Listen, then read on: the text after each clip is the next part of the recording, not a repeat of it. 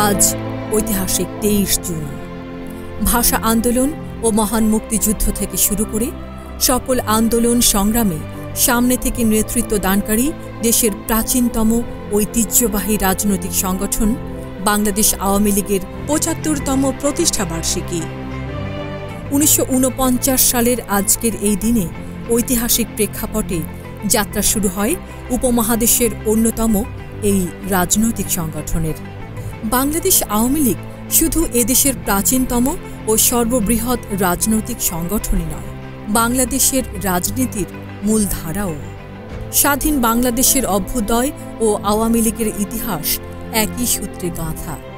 দীর্ঘ এই পথ চলায় অধিকাংশ সময় আওয়ামী লীগের নেতৃত্ব দিয়েছেন সর্বকালের সর্বশ্রেষ্ঠ বাঙালি, অবিসংবাদিত নেতা, জাতির পিতা বঙ্গবন্ধু শেখ মুজিবুর রহমান এবং তার সুযোগ্য কন্যা দেশরত্ন শেখ হাসিনা।